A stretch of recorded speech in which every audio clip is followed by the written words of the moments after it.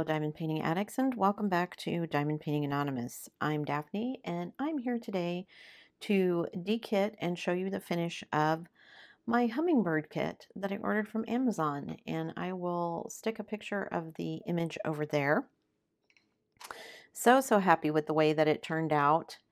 Uh, and it was a fun kit. It was something nice to work on in between working some other stuff. I got to feel like I finished something, which is always a win. And now I get to do this. So it is a small painting. It is only a 30 by 30, but uh, it still was fun. It took me about seven hours to finish, and it was a full round, not a partial. That's why it took me so long. Uh, let's see, where am I starting? I'm starting at 158. Let me get some of these out of here so I can have room to pull all of these. Okay, and then I'll pull some more out as I go. So I've gotten my little news storage out. This is actually the first time that I'm going to be dekitting um, my rounds since I changed everything. So I'm kind of excited about that. Um, lots of stuff going on. If I ramble today, guys, I apologize. I have so many things running around in my brain today. And do you ever just have one of those days where you just have so many questions that you're like, where do I even start? Yeah, that's kind of the day I'm having. So, anyway, I did enjoy this kit. Like I said, it was, you know, small and it was pretty simple. It's that stained glass kind of mosaic style that I like. Um, so I enjoyed that part of it. And I think it turned out really well. So I'm really happy with it. But, man, I was working on it yesterday and clumsy me, I don't even know what I did. I'm sitting there diamond painting out of the tray. I had just dumped a color into the tray and I was on the last little sections of it. And so I I don't don't even know what I was doing. I don't know if I was reaching for something. I don't know if I I don't know what I did. Uh, the upshot of it is that I um, basically hit the tray with the back of my hand and drills went flying everywhere. Luckily, I was sitting at the dining room table, so they all fell on the dining room floor, which is a wood floor, so it was a hard surface, so it wasn't carpet. Luckily, they were purple drills, so they were, well, probably would have actually been easier to see them if they had been on carpet because my carpet is kind of a light color. On the dark wood floor in the dining room, they were under the table, so it was kind of hard to see. So I'm literally under there with a stinking flashlight trying to, what am I looking for? 519. Trying to find all of these drills so I can sweep them up and just it was just a big mess. And then i was afraid because i had poured out quite a few to finish up the last sections that i needed with that color. I'm like oh no does this mean i'm not going to have enough drills to finish? because i had almost no drills left in the container so I'm like brushing them up into my dustpan and then like waiting to see how many I have left and if I'm going to be able to get through, you know, the the remaining part that I have left with the drills that haven't been on the floor. and amazingly, I did manage it. And it was this color, 550. So I knew that I would have, you know, plenty of drills in my spares if I needed them. But and I actually managed to finish and I still had this many drills left. So not a huge amount because there were quite a few that just went in the trash. Once I realized I had enough left in the, the container to finish. I just threw the rest of them in the trash because trying to sort them out from all the other stuff that was on the dining room floor just wasn't going to happen. So, but yeah, like I'm just sitting there and I went to move my hand and all of a sudden, boom, just drills everywhere. So, and then I got up this morning because I thought I was going to go for a walk with my son. Usually, if we're not going to go, he will tell me the night before that he doesn't want to go. And he struggles with insomnia sometimes. And so I try not to, you know, wake him unless I absolutely have to because I never know if he's, you know, only gotten two hours of sleep or if he's just gone to sleep and I'm waking him up. So I thought I was going to go walking with him this morning. I didn't. And then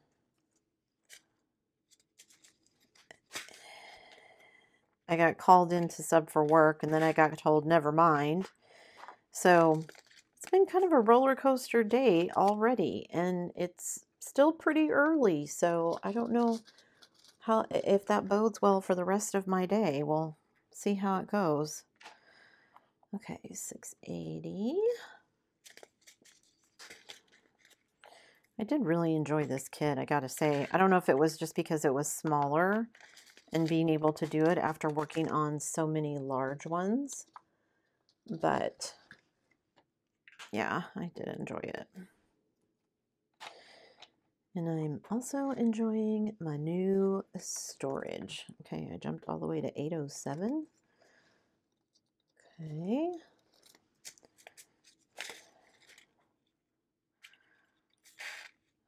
And I'm actually really liking the um, round ones because I managed to fit all of these in one box and I still have a little bit of room. Now, again, for the round ones, I did not purchase the art dot spares like I was going to for rounds. Once I did them for the squares, I was like, I don't know if I want to do this again for rounds. And I'm kind of glad I didn't at this point because I don't know if I would have been able to fit all of them in um, one container, one box like I have if I had, oh my gosh, you guys. it's going to be one of those days for me. Just, just I can tell. It's going to be one of those days. Maybe I shouldn't diamond paint today. Maybe I should just do something else that isn't going to require much brain power because apparently I don't have a lot today. Oh,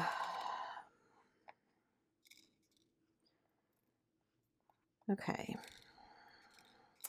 So I didn't get to go on my regular walk with my son. I did go walk on our elliptical.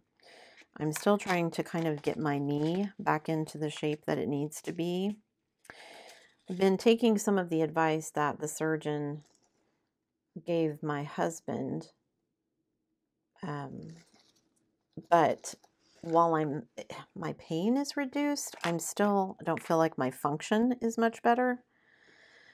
But I mean, my pain is reduced, so I guess I'm I won't complain about that, right? At least it doesn't hurt as much. But now I'm afraid that maybe because it doesn't hurt as much, I'm going to overuse it before it chance has a chance to really heal. I'm also I, I guess I just need to call my doctor and make another appointment. You know, the surgeon basically told me that I had bursitis and then sent me on my merry way, but didn't really give me any kind of instructions for how to deal with that. So maybe I just need to go see my regular doctor and be like, hey, what's up? What do I do here? I know some people have to go on medication for it. I would prefer not to do that if I can help it. But at this point, You know, if there is a medicine that will give me some functionality back, maybe that's what I need to do, at least for the short term. So, I don't know. My husband goes for his first PT appointment tomorrow, so we'll see how that goes. And things just feel kind of crazy right now, and I'm not really sure why. I think maybe it's because we just have a, oh, I didn't have any of these, have a lot of things going on. You know, we're getting close to the end of school, which is good. I'm ready for, I'm ready for summer. But I think also for me, it's difficult because I know I'm not going back next year. At least, you know, what I'm doing now. I may go back as a sub, but I'm not going to be going back as a regular classroom teacher. And so that's difficult. And we just have so many kind of irons in the fire that we're not really sure what to do. and I feel like you know we we need to make a decision sooner than later but there's so many what ifs that I will drive myself crazy before we get a decision made so yeah so and I have other questions that have come up you know we've been talking about our move to Canada and we've had some issues arise that we don't know what that means we need to put it off or if we need to do it sooner than we really had intended. Um, so we have the opportunity to move to Maine. And this is something that we had discussed before but we were kind of focused on at that point getting into Canada. And since we have been doing research and stuff, there's just so many factors that we didn't even think about. Um, you know, I'm trying to grow the YouTube channel and do some other things and things like that. And moving countries in the middle of doing that. I'm I'm not even sure if that's possible. I was looking today because like surely the situation has happened that you know someone started a YouTube channel living in one country and then moved to another country. So how exactly does that work? And no one seems to know because I've I've seen stuff on the internet from people that said, "Oh, I did it with no problem. Here's how you do it." And then I have other people are like, "But it says right here you're not allowed to do that." And some of it may depend on what country you're from. Some of it may depend on what country you're going to. So that can get complicated. And then looking at our tax situation because for those of you who are unaware, as a U.S. citizen, it does not matter where you live in the world, the U.S. taxes any income that you make. They are one of only two countries in the world that do that. Every other country, including Canada, does not care about your income if you don't live in Canada. So, for instance, that was another big thing this week. I had to mail our taxes. We got our federal refund. We didn't get audited, so yay. Yay. Uh, I mean, I guess getting our refund doesn't preclude an audit, but I would assume we're not getting audited since we got our refund. Um, and if that don't don't tell me any different. That's my happy bubble I'm gonna live in. That means I'm not. It's not happening. Um. However, if uh, yeah, I, I had to mail my state taxes. I was not happy about that, but whatever. And I'm pretty sure we owed enough because we lost a dependent this year and didn't realize that was going to happen, that I'm fairly certain we're also going to get told that we have to prepay some state tax for next year, which is going to irritate me. Ooh, those are two wildly different colors. I think that's the first one of, of this one that I've had that's two different colors like that. Anyway, so there's that tax situation. And then 3768. Um, my husband is a dual citizen. So, as a Canadian citizen living here in the US, Canada didn't care what his income was here because he doesn't live in Canada. If we move to Canada, however, then all of our income has to be reported to both places. And that, yeah, because the US. And 3787. Can't keep my numbers straight. 3787. Okay. Um, so that makes our tax situation a whole lot more complicated. Now, again, I'm sure there are other people in the same boat. And, you know, that's one of the things, one of the reasons we had talked about moving to Maine in the interim in the first place was because there are several places in Maine, because it's so close to the Canadian border, that people live in one place, work in the other, or vice versa. You know, live in Canada but work in the US, or live in the US but work in Canada, whatever. And so we figured, oh, well, there will be people up there you know, tax experts up there who have uh, experience in dealing with having to file in both places. And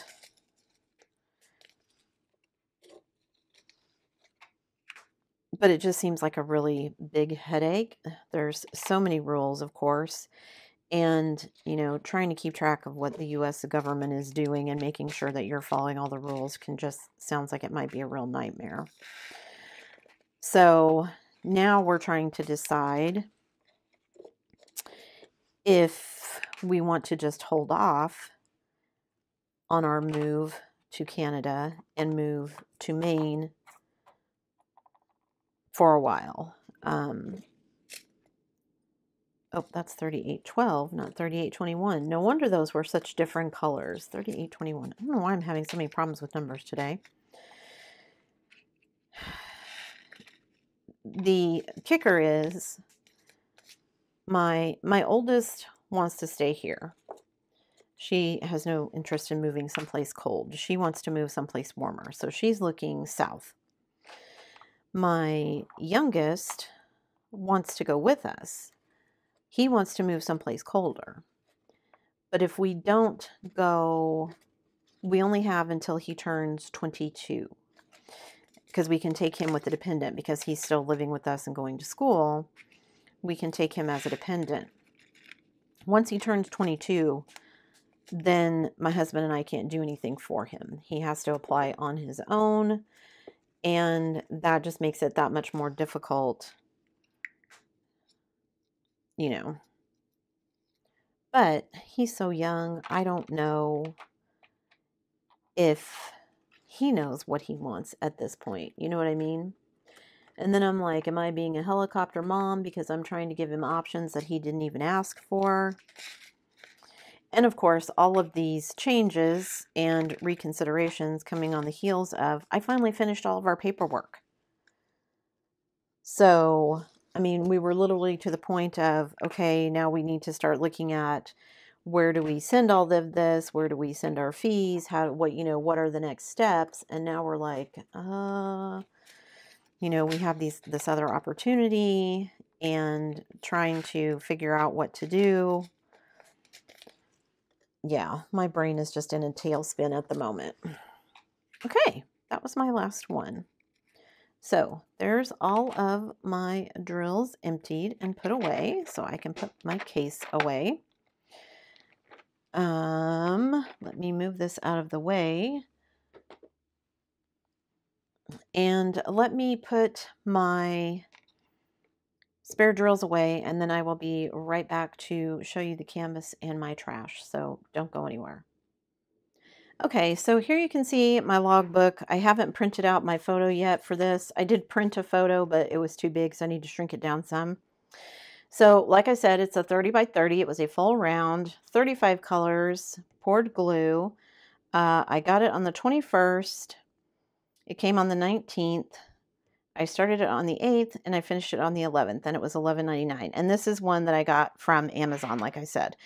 And it took me seven hours and 16 minutes.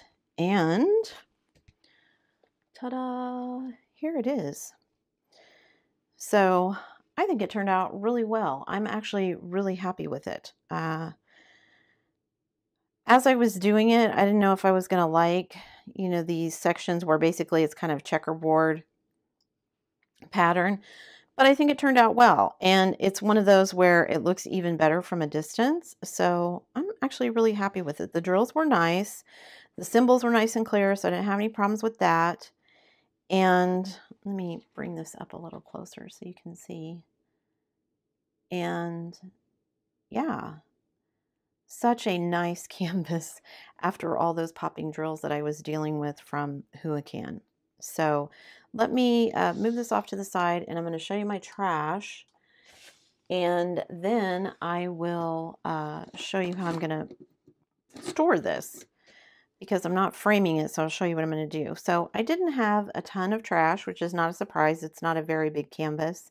I did have a couple of drills like this one and that one and this one over here where they had some um, tabs on them. This one has a tab. There were some that were, you know, little not fully formed pieces.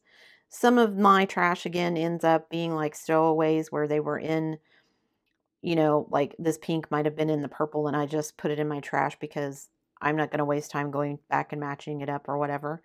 So yeah, not a huge amount of trash. So these are going to go in my trash drills.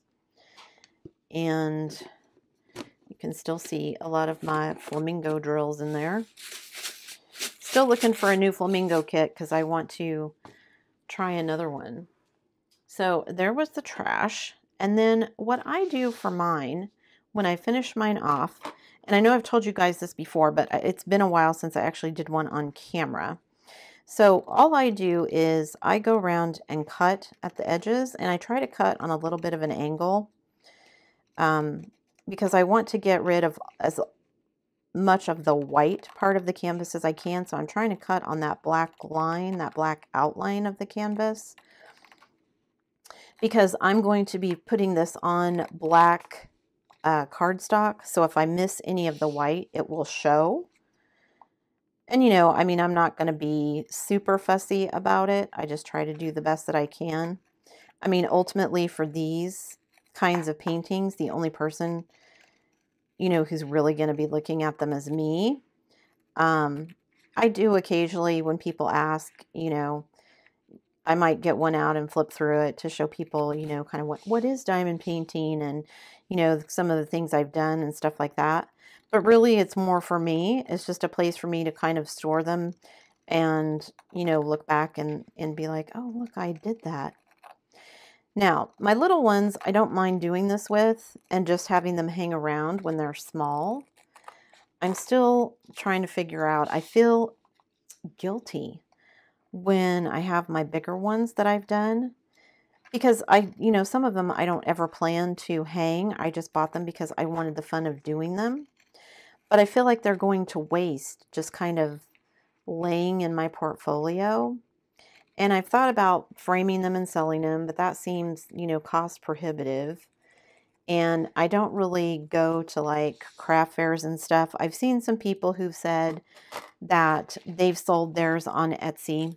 So then this part I just throw away. And then I get out my double-sided tape and I have my big piece of cardstock. This is basically an 11 by 17 piece of cardstock. Now, this is going to fit in the middle of it, and I just kind of eyeball the middle. I was hoping I could get two on here, but unless the other one was really small, there's not enough room to put two 30 by 30s on here. So I'm just going to kind of center it by eyeball. And then I have a roll of double-sided tape that I purchased and I just flip it over and then I'm going to put the double-sided tape on the back of this. And then once I get it centered, I will pull it off and place it. So anyway, I don't, I'm not the kind of person that really goes to craft fairs or that kind of thing. Um, you know, I've considered trying to put them on like Etsy, but again, my whole thing with that is I feel like it's going to be cost prohibitive to sell them that way. Um, and also I'd have to seal them. And I don't, I don't really know. Can you roll them up after you seal them? I don't know. I think I haven't tried it. Maybe that's an experiment for me. I do have a couple downstairs that I finished that I have sealed. I should try rolling them up and see what happens. Because my thing with selling them is, you know, I could sell them rolled up, finished. Speaking of that, tangent, I've always been told that you should roll the canvas with your drill side out. But I have seen at least two commercials from one from a diamond painting company and one from well, I think it was also a diamond painting company, but like a Chinese company, and they showed them rolled drills in. So now I'm curious. Has anybody tried doing it drills in and does it really make a difference? I mean, it makes more sense that you would do it drills out, but what do I know? So anyway, back to my main point. Um, I what was I talking about? Oh, selling them on Etsy. I don't know if that makes any sense. You know, if I could roll them up, my worry is that drills would fall off and then people would be upset. Like, can you get away with just being like, this is as is? If stuff is falling off when it gets to you, too bad, so sad. I mean, it's not like I could replace it. So, and I mean, I maybe could send replacement drills, but, you know, I don't want to keep my drills according to which painting or extras or whatever. I mean, I guess I could if I was going to sell them. But like for the ones that I already have done, I I didn't, so I don't have those to to send. So like, you know, do a kit and then just keep all of the spares with the kit until it sells, which I could do, but that seems like a lot of extra work as well. So don't know that I would do that either. So does anybody sell them? How, how does that work for you? If you sell them, yeah, how does that work? Or do you have other suggestions for what to do with finished ones? Now, like I said, for these small ones, I'm perfectly fine doing it like this and putting them in my portfolio. I don't have, they're small, so they don't take up much room. But you know, like my Vibrant Italy, my Grandiose Greece, my Good Witch, all of those really big ones that I did are just kind of stacked up gathering dust. I mean, they're not gathering dust because I have them in a portfolio, so they're clean, but yeah, still feeling guilty that I have a lot of them kind of hanging around and I haven't really done anything with them. So maybe I just need to frame them and find someone to give them to. I don't know if I have enough people in my life that would like that many diamond paintings, though. So, anyway, here we go that was the process for putting the double-sided tape on there. I got it on there, so now it's nice and stuck. And then I can just stick it in my portfolio book, and I have this nice display. And I don't seal mine before I put them in my portfolio book because they're going to be in the portfolio sleeve, so they're going to be pretty protected.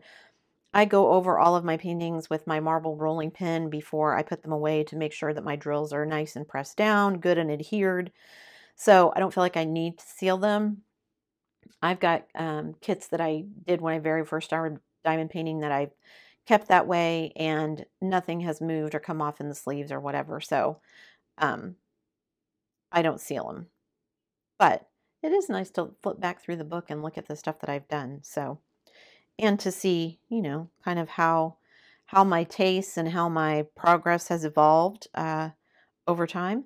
That would be an interesting thing to look at too, to go back after several years and see if you can tell how your technique has progressed or whatever. Anyway, I'm getting off tangent again. Sorry, guys.